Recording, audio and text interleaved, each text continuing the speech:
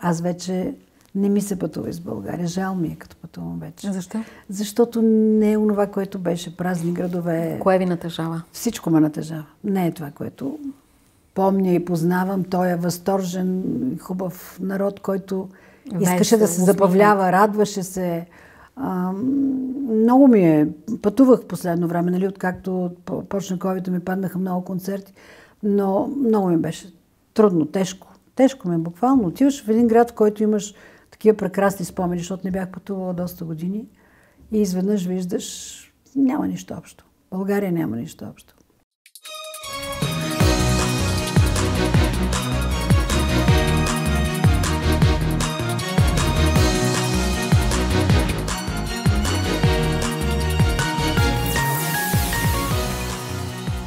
Какво правите, за да поддържате здравето си?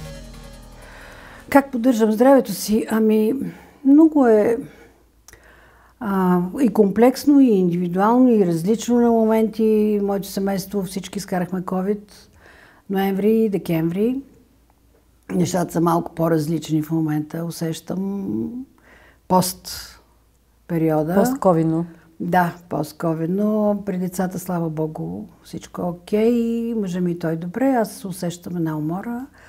А, усещам, а, че някъде в нервната система се е загнездило нещичко, което, ако му дадеш възможност, се събужда веднага. Иначе, как? Гледам да... По принцип, играя йога. Но в последно време не мога да кажа, че са така добре нещата, както би трябвало да бъдат. Имаме една много специална група с страхотен а, треньор, може би вече 12 години. Това е едното, което правя.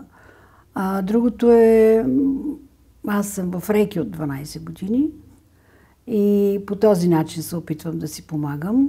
А, и да помагам на близките си, понякога и на приятели от разстояние, ако се налага. Ам, гледам да не, да не отдавам ам, превес на кулинарните умения на съпруга ми, защото той е много мазен, много тежък, много вълчи в предпочитанията си. Аз изпитвам глад за салати и за плодове. А, понякога, ако се организирам, включвам много активно кълнове в а, храната. Мъжа ми се стреми от друга страна пък да доставя чиста храна вкъщи. Млека, сирена, кашкавали и меса така от... Което компенсира? Да, да се опитваме поне по-малко да компенсираме. Но в общи линии не съм много нито крайна, нито стрикна, нито дисциплинирана. Телец съм все пак. Телец е известно така, че е лаком. Аз мога да приям просто с хляб. така че си имам периоди. Виждате... Зависи от психическото равновесие. Така на... Но това, че виждате доброто в хората, според мен е основа за здраве. Да, може би. Със сигурност. така си мисля винаги.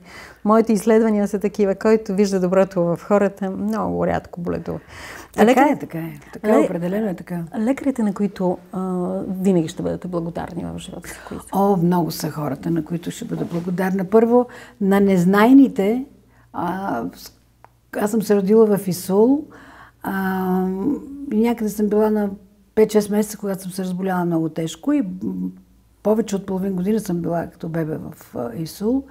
И незнайни хора са се грижали за мен и винаги си спомням с огромно умиление, защото мама много, винаги като ми е разказвала, нали, е страдала от това, че тя не е могла да бъде с мене там. Значи много хора са се погрижили в началото за здравето ми.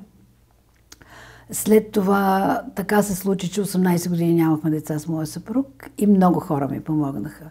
Основно доктор Табакова, ще бъда до края на живота си благодарна за това, което ми подари, помогна да имам в живота си. И естествено за целия екип. Е, целият екип, защото аз лежах цялата си бременност, влязах в болница бившата ти на Киркова преди да забременея и излязах с бебета на един месец.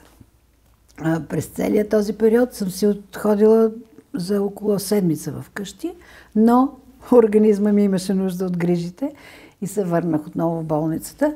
Вие така че толкова много герой. хора, да, толкова много хора са се погрижили за спокойствието ми, за здравето ми. Всяка сутрин първо влизаха в моята стая да видят дали всичко е наред, защото бях много проблемна временна мама. А, така че Вие на всички, акушери, медицински сестри, санитари, абсолютно всички, абсолютно всички.